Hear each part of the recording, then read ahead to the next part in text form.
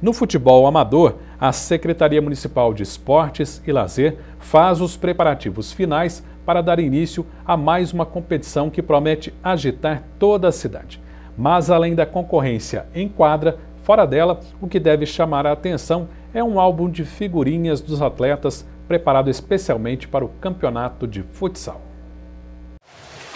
Aqui em Varginha, o campeonato de futsal está pronto e as equipes montadas. Locais das partidas definidos e a torcida pronta para gritar o nome do seu time.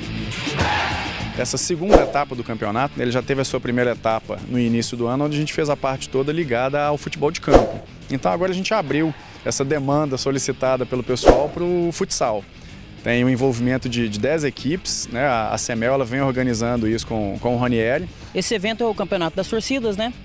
Que já foi feita a primeira edição no campo e agora essa edição vai ser no salão, né, nas quadras da cidade. Serão em torno de, de 53 jogos.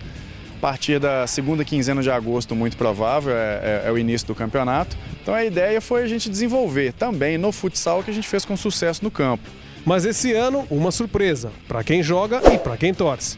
Esse evento também contará com o álbum de figurinhas e esse álbum de figurinhas vai contar com algumas coisas como a musa, técnico. Os álbuns eles vão seguir a, a linha do, do, próprio álbum, Campeonato Brasileiro, Copa do Mundo, que o pessoal normalmente compra em banca de revista e vai ser muito interessante.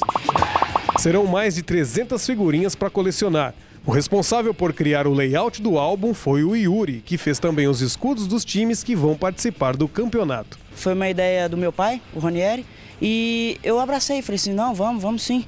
Comecei a fazer o álbum, a editar, a fazer as imagens, pegar algumas imagens da internet, fazer, pegar algumas imagens que eu usei no campeonato passado e fui criando, fui criando, criando, cada vez que vinha imagem dos, dos jogadores, aí eu ia implementando no álbum, ia preenchendo os nomes, tudo certinho. O álbum com os atletas de Varginha vai ser vendido em mais de 100 locais da cidade e todo mundo vai trocar figurinha.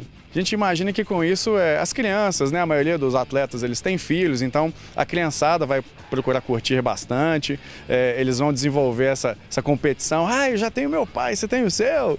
Então a gente imagina que, que vai, vai fazer um barulho bem grande, vai ser muito legal. Então já fica o convite para todo mundo estar tá participando do campeonato aí. Parabéns ao Luciano, ao Ronieri e principalmente ao Yuri por esse belo trabalho.